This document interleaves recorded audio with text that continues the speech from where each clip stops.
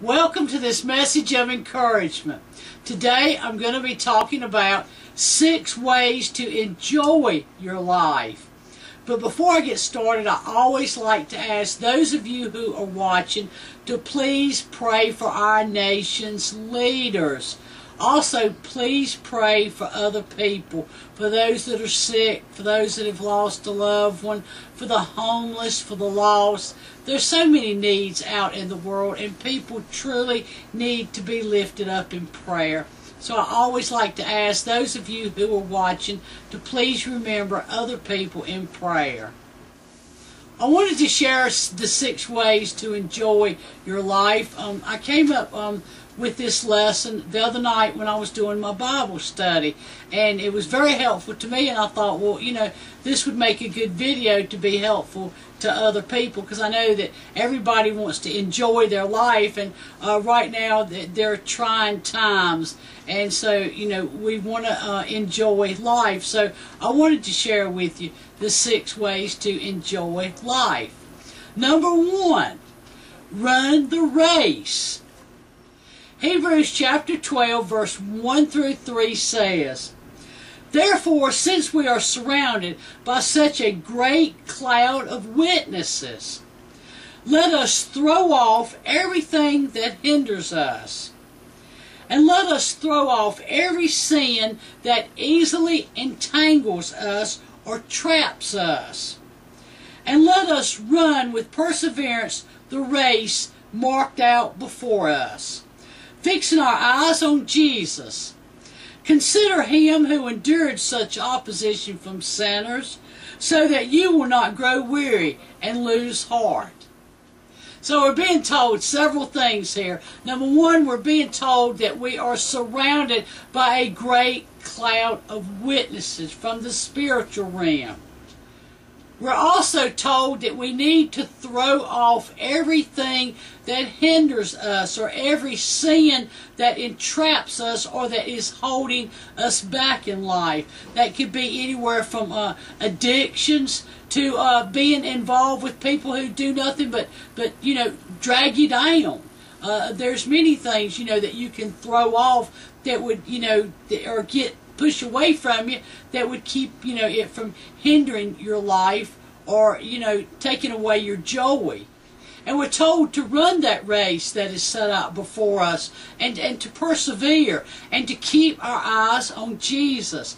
That's the most important thing is to throw off these things that are hindering us, these, these schemes and these traps that the devil sets for us. We need to throw those off and keep those traps pushed away from us, and we need to keep our eyes fixed on Jesus. The second thing we need to do to enjoy life is to fight the good fight. 1 Timothy chapter 6 verse 12 and 13 says, Fight the good fight of the faith. Take hold of the eternal life to which you were called when you made your good confession in the presence of many witnesses. So we want to fight that good fight of the faith. And we also we want to remember that like when we were saved or when we were baptized, remember we made that confession in front of witnesses. Our confession, you know, of Jesus Christ. We made that in front of many people when you know, like when we were baptized. So we need to always remember that. And we've got to fight the good fight and, and never lose faith in God. We also need to remember that we can count on God to take care of our every need, uh, to supply for the things that we that we you know need, and and and to never have to want for anything, and, to know that God will protect us from bad things, um, from, from disease. He is our protector and our comforter. The third thing that you need to do to enjoy life is to stand firm in the faith. 1 Corinthians chapter 16 verse 13 and 14 says, Be on your guard. Stand firm in the faith. Be courageous. Be strong. Do everything in love. I like how that scripture ends and do everything in love. It's not only telling us to be courageous, uh, brave, and strong, and, and all the things that we need to do, but it's also telling us that everything we do, we need to do it in love. Because love brings about peace, joy, happiness, uh, just all the things that will complete, you know, our lives and keep us, you know, at peace. And, and so that we don't lose our joy. The fourth thing that we can do to enjoy our life is do not run from the battlefield. Ephesians chapter 6, verse 10 through 18 says, Be strong in the Lord and in his mighty power. God is our strength. Always remember that. We have to seek our strength from God.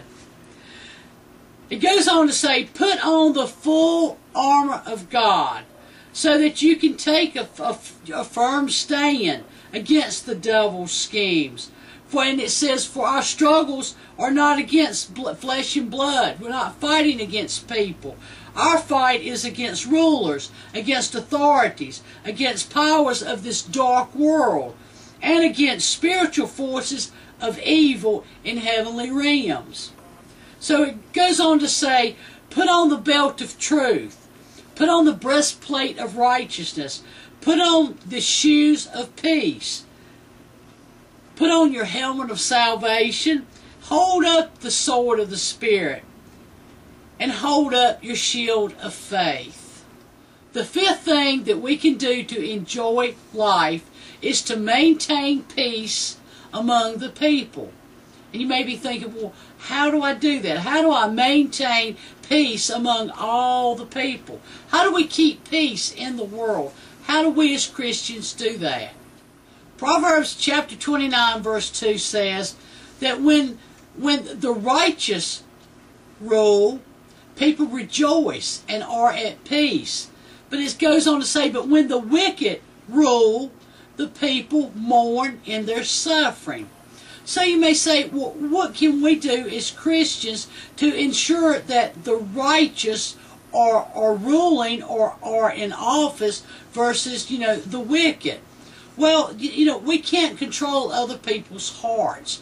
But what we can do uh, for those, you know, that are in office that are, you know, corrupt or are, not doing right and causing misery among the people, what we can do is let our light shine for Christ.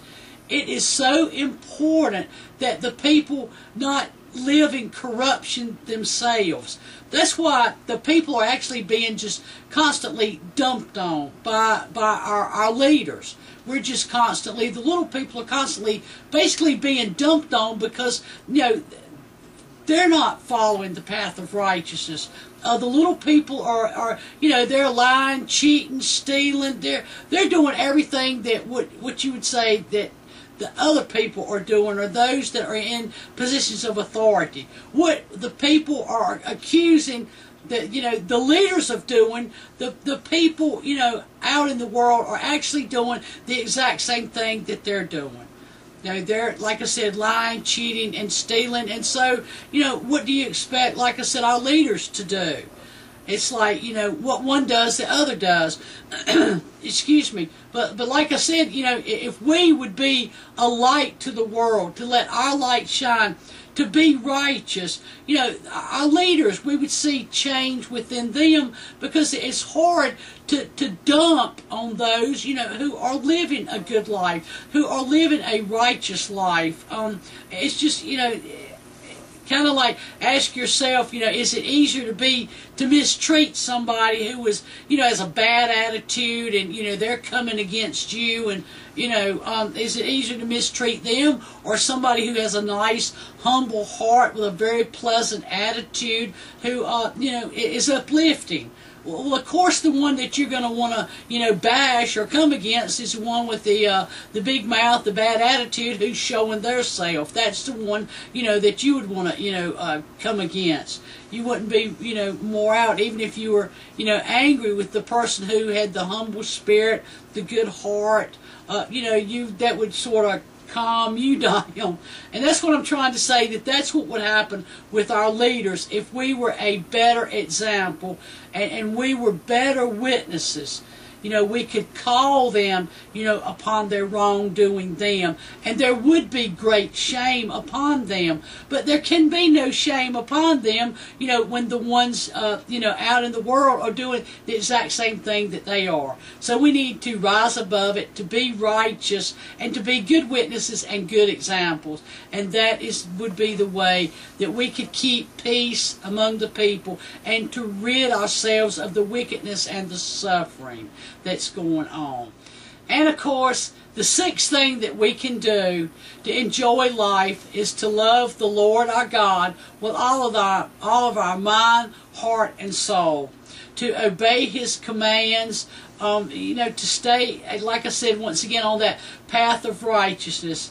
Um, you know, to to be, you know, willing to, to, to freely love others as, as you want to be loved, to treat others as you want to be treated. Um, you know that this these things that you know I'm telling you today in this video would change your life forever, and you would have that joy each and every day. You would have that peace within your life, and the turmoil that's going on in the world, you know, wouldn't just seem to matter. It wouldn't cause you to lose your joy. You know, if if you know if you would just do these things. Uh, like I said, uh, to obey God, stay in the Word of God, to uh, fellowship with other Christians, push away from these TVs. Uh, there's there's a lot of lies coming off these TVs, these news articles. Push away from them and be around uplifting people, people who love the Lord. People want to talk about miracles. There's miracles going on all around us, especially right now. God is showing us His love. He is calling people to draw closer to Him. He wants each and every one of us to be saved. God's desire is that no one to perish. So I hope that this message has been encouraging to you. I hope it's been uplifting to you. I hope that it also changes your life, that you will, um, you know, run the race, you will stand firm in the faith, uh, that you won't run away from the battlefield and things like that, and that these things, like I said, they will change your life forever. God bless and stay safe.